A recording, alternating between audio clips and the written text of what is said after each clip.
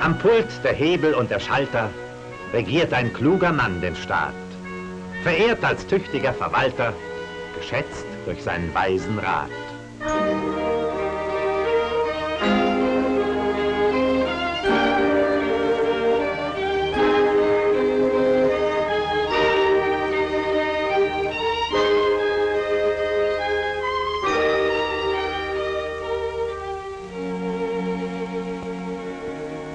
Er stellte nach den Untergängen die Hebel wieder richtig ein.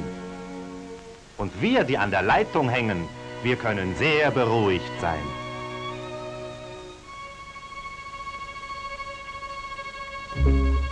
Doch wie ja leider meist im Leben, ist mancher für das Gute blind. Und es gibt Leute, die erheben den Anspruch, dass sie klüger sind. Und eines Nachts Lasst es uns träumen. Es ist die Nacht der Bundeswahl.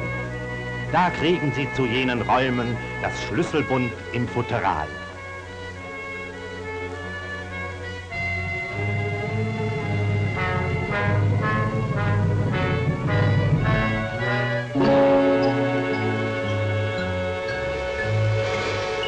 Und nun, nun fängt in der Zentrale die große Renovierung an.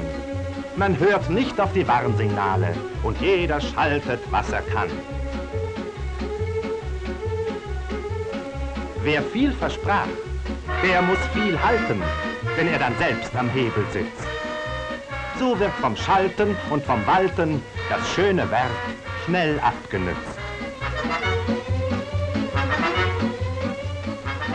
Zuletzt, in jenem schlimmsten Falle, stellt man den Hebel NATO aus.